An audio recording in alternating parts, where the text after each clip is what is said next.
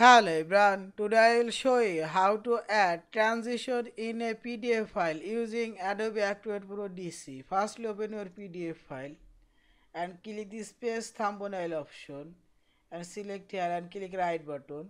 Here you will find the page transition option. Click here page transition and select here transition and add beeline and apply all of this space in document. Now click OK and click here view option and full screen mode. This transition already add this is. Now click escape. And now click paste and change this box. Now click ok full screen mode